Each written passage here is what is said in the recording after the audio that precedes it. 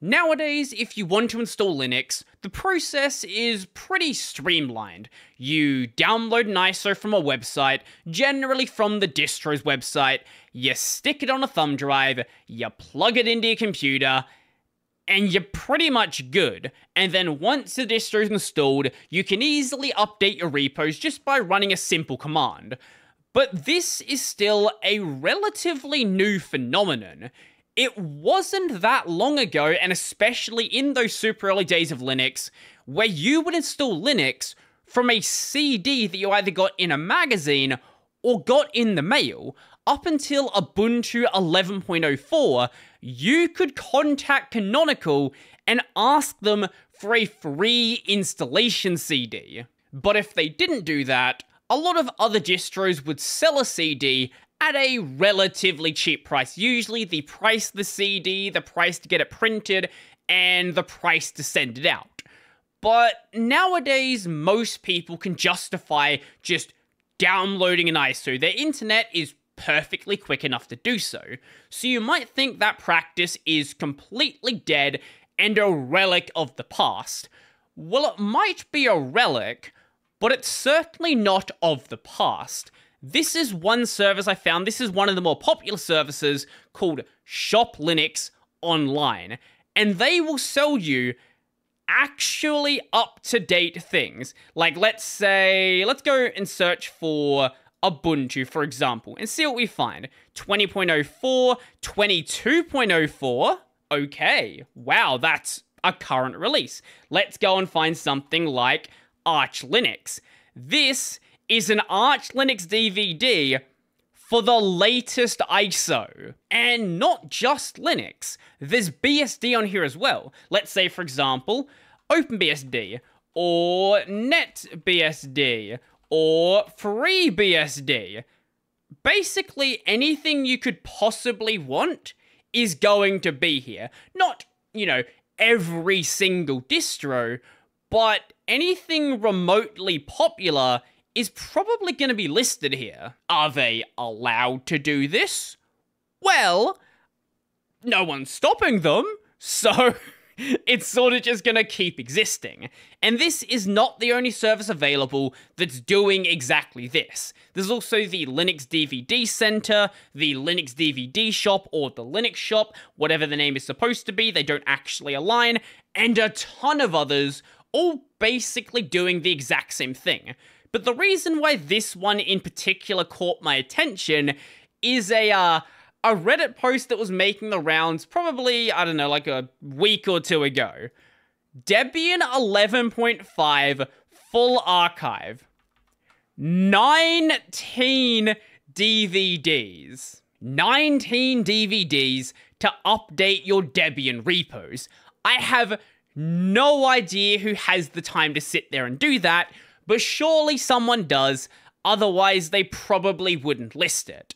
Now you might be wondering, why is there 19 DVDs? Why does this exist? How do they decide to go and split things up between the different DVDs? Well, that's actually very simple, because Debian actually offers these DVD images. What's in this directory? These are files containing the installer and other software for the Debian Linux operating system. The files in this directory are specifically for the AMD 64 architecture. There's also a 32-bit version as well. The files here are in JIGDO format. Use JIGDO tools to download the contents of the complete ISO image files from what's here and a normal Debian mirror. You should end up with an exact copy of each ISO image as though you downloaded it via HTTP or FTP, and then goes into more details about how this works, how you actually use it, and yeah, so if all the DVD files are available for free online, who in their right mind is going to pay $20 to just have them printed and sent to them? This isn't including uh, shipping, also the different US states do sales tax differently, so tax isn't listed here either. You guys are weird. I don't know why you do that. Uh, so it's probably like closer to $25, $30. Why would you do that? What What is the point? Well, there's actually a really good point. Anybody watching this video at 720p, even 480p, this is probably not a service for you. You don't have the fastest connection out there, but it's a reasonably usable connection. You could download a multiple gigabyte ISO. You can download some updates to your repos. It's probably going to take quite a bit of time, but you can do it in a reasonable amount of time. That's not the case for everyone out there. This service we've been looking at is just focused on the United States. And in the United States, you may not know this if you live in a big city, a small city, a town, a village, a place where people generally live. There are people that still only have access to dial up. This is data from 2019, and it's obviously going down, but there are still people that only have dial up in the US. There are still so many people that there are lists from 2022 of the best dial up providers. I didn't think I would say best and dial up in 2023, but here they are. So let's do a bit of quick maths and be super nice and use Puppy Linux. So Puppy Linux has an ISO that's around 400 megabytes. I'm just going to round the numbers to make things easier. And with a 56k modem running at absolute full capacity, which will never really happen on the internet due to, you know, servers and distance and ping, but let's just say it's running at the full 56k. It will take you an hour to download approximately 200 meg. Two hours just to download Puppy Linux. And Puppy Linux is an intentionally small Linux distro. This can get a lot worse if you want to use something like Ubuntu, for example. The latest Ubuntu LTS is about 3.6 gigabytes, so about 18 hours just to download the ISO. Not even do a system update. The absolute bare minimum just to have a working system.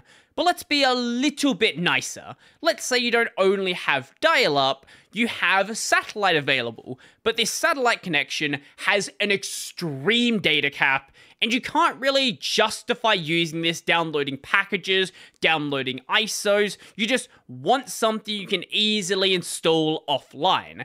Or you might be in a far worse state. You're in an area where they do have electricity, maybe not, you know, all of the time, but do have electricity, but internet is a little bit harder to come by. Maybe it's only available at schools and libraries, but it's not really common to have internet in your home. Excluding edge cases like Japan and Korea, which are really well off countries, this is exactly why a lot of areas of the world still have net cafes as a common thing. They don't really exist in Australia. There's like maybe one or two in my entire state, and they're hidden down some random alley. But there are many areas where using a net cafe might be the only way that you can reasonably get online. So, while this might seem completely pointless to internet natives, internet dwellers, whichever term you want to be using, for a service like this to be existing, it's not pointless for a lot of people out there. For many people, this might be the only reasonable way to get your hands on Linux, or get your hands on Linux in a reasonable length of time to justify actually doing so. Now, I've just been looking at the CDs and DVDs. There is also USB thumbsticks as well, and many of the services out there don't even offer CDs, only offer it as a thumb drive. And the other people this is made for is for the dumb YouTubers who ask their audience really dumb questions. Should I buy a 19 DVD collection of the Debian, I spelt it wrong, a Debian 11.5 archive for the sake of a bit. 36% saying yes, 25% saying of course you should, and 39% saying send me the money instead. Is this a fairly worded poll? No, absolutely not. But why would it be? I was asking about buying 19 Debian DVDs. Of course it's not going to be serious. So let me know your thoughts in the comment section down below. If you've been using Linux for, you know, 10 plus years, let me know what it was like getting Linux CDs in magazines, in the mail, and let me know if you still have any of them and what the first distro you ever used actually was. I would love to know. So if you like this video, remember to go and like the video, and if you really like the video and you want to become one of these amazing people over here, so I can buy 19 Debian DVDs, uh, check out my Patreon scrubs, the Pay linked in the description down below. That's going to be it for me, and I'm out.